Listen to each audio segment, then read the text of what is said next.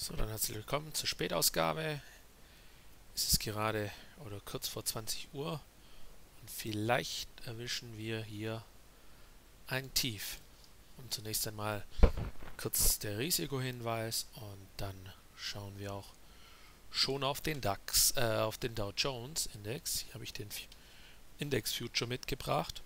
Und heute Morgen hieß es noch ein Rücklauf hier in den Bereich von äh, 16.090 wäre im Rahmen. Hier liegt eine gute Unterstützung. Aktuell durchbricht er diese mit der 4-Stunden-Kerze. Schauen wir kurz mal in Stundenchart. Da sieht man, dass es hier auf dem 200er gut der Kurs aufgesetzt ist. Doch diese Kerze ist natürlich jetzt negativ. Jetzt könnte jetzt hier halt einfach ein T fehlen. Also wäre bei, äh, im Umkehrschluss wäre eine, eine Rückkehr bzw. ein äh, auf dem aktuellen Niveau sind es 40 rund 40 Punkte. Also steigt er von dem aktuellen Niveau 40 Punkte an beziehungsweise ich rechne das mal im Dow Jones dann um. Das dürfte dann die 16.200er Marke sein. Also kann er darüber schließen in der nächsten Stunde. Dann könnte man mit Stop auf Low auf eine Erholung setzen. Aber da der DAX ja relativ schwach war, ist, auch heute, da, wo haben wir denn den? Machen wir erstmal kurz noch im Silber weiter. Dann klicke ich die anderen weg, dann kommen wir zum DAX. Ich habe mir das Chartbild schon rausgesucht. Also hier muss jetzt demnächst was kommen im Silber. Jetzt immer noch der alte Stopp. Der neue Stopp soll eigentlich 16.05 sein. Also kann man das schließen.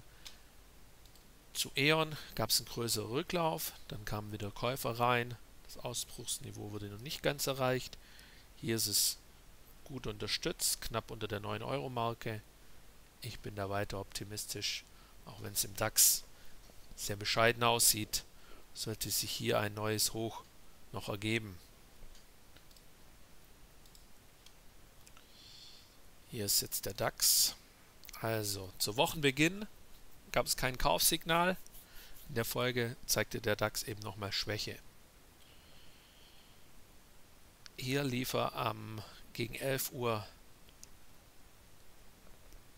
diese Marke an, die, die 9600er Marke. Hier wurde dann kurz ein Long aufgenommen, in der Hoffnung, dass es eben weiter steigt mit 15 Punkten ne, oder 13 Punkten Verlust. Mit Spread waren es 15, glaube ich, äh, ausgestoppt. Zwischenzeitlich lag man auch nur 20 Punkte im, im Plus oder 25 maximal. Also hier Verlusttrade aber natürlich keine 100 Punkte mitgenommen.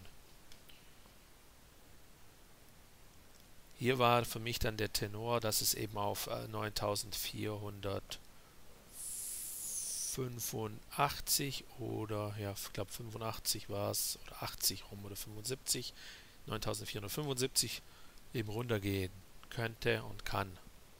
Dazwischen war eigentlich für mich eher keine Unterstützung mehr da. Jetzt nachbörslich stehen wir exakt bei 9.500 Punkten. Also rund 20 Punkte. Also hier könnte sich dann eben auch eine kleinere Aufwärtsbewegung, aber natürlich antizyklisch anschließen. Dann haben wir den DAX.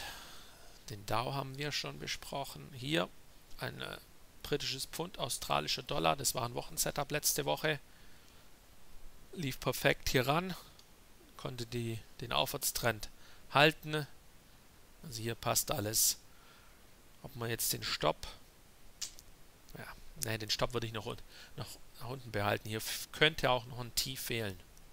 Aber bislang passt es. Also alles in Ordnung. Jetzt kommen wir noch schnell zu den äh, Bund Future kurz nachher.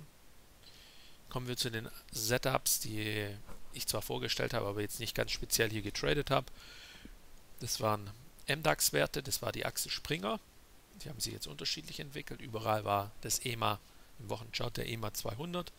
der Trigger, der sollte halten. Hier konnten deutliche Gewinne verbucht werden, auch, aber auch nicht das Kursziel erreicht werden.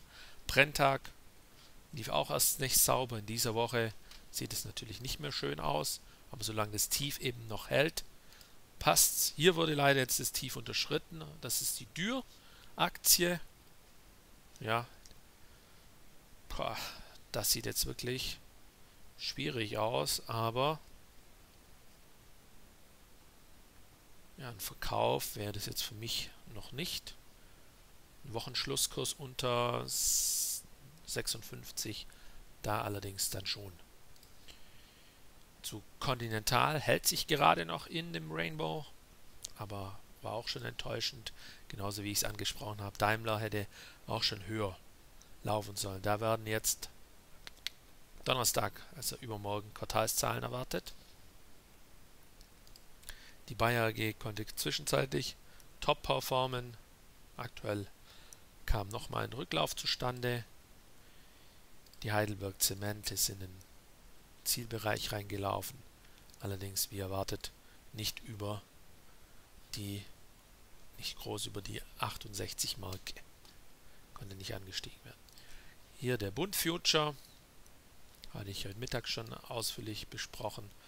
Neues Hoch. Wäre im Prinzip wünschenswert, aber auch hier braucht es nicht unbedingt ein Hoch.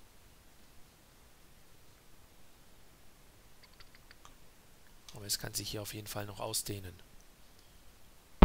Also für mich bleibt es Hoch, dann abwärts.